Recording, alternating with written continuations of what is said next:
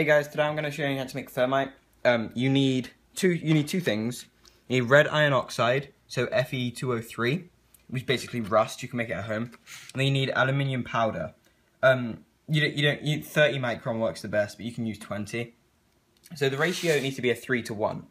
Uh, three to one of this, three this, one that.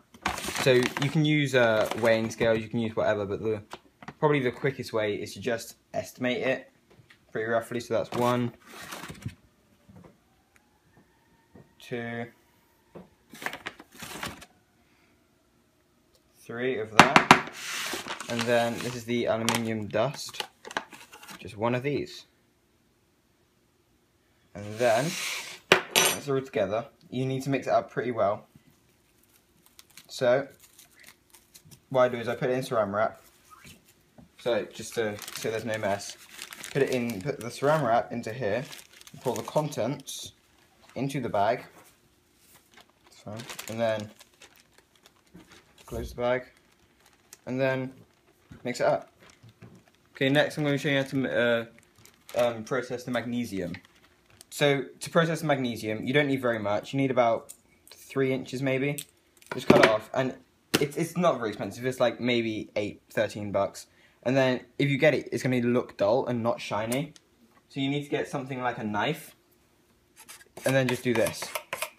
Just scrape it off and you see how that's already gotten shiny in comparison to that. And if you do that, it will take five, five seconds each side if you get good at it. And then flip it over. The other side you don't really need to do as well because that's going to be lit and that's going to be burning.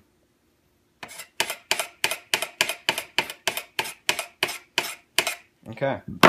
And then that's making you look like that, shiny, and yeah.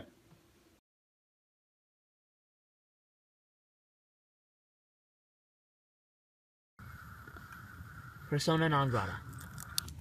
That is brightest. It's back enough. The whole time. It's really slow and that's so beautiful. That's actually one of the most beautiful things in the world. It's like a firework!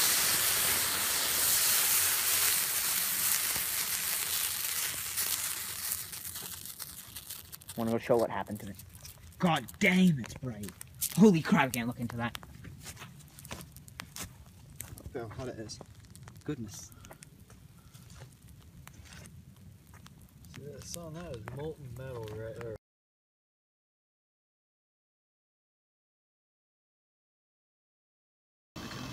Oh, sorry. I, yeah, dude, you're in the way of the camera. I was. I don't know what's gonna happen. No, yeah, no, no one knows what's gonna happen.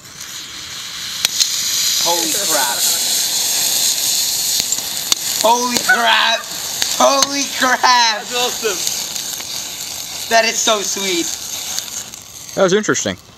Yes, No, no, quite. go in It's and tight. Wait, it's still going.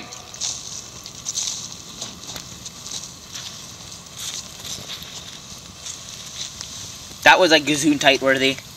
Alright, you get John. You good. Uh, John, get up close so you can like get every all the bits of